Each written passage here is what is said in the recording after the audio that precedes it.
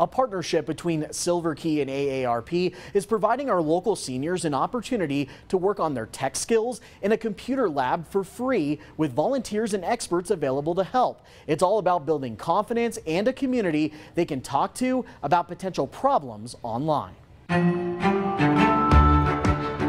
Most seniors, including myself, we get in the house, we get comfortable, but when it comes time to doing something, we have to call and ask for help.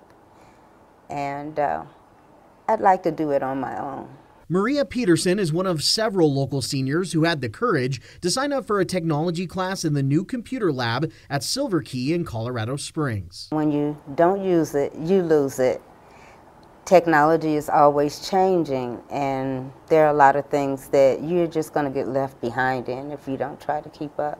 Silver Key leaders say this facility and classroom setting is all thanks to a grant from the city of Colorado Springs. Maria says being here with other seniors is important. The camaraderie and just to encourage uh, one another, um, that's, that's what's needed. There are some people in the classes never touched a computer and I can turn over and say, oh, it's going to be okay. Dayton Romero works with AARP and helped to coordinate the curriculum for the classes, partnering with Silver Key to make it happen. There are almost 22 million older adults over the age of 65 that are not connected to the internet at all. AARP Colorado has worked hard to get more people access to the internet statewide. But with that access comes the need for affordable and accessible training like this. People pick up technology for different reasons. Everyone has a different why of why they pick up a device. And those social impact areas align with things like health and wellness. Maybe you want to connect with your doctor. We also have another one uh, that aligns with creative expression. People want to know how to use their, you know, their smartphone camera and organize their photos of their grandchildren or their family.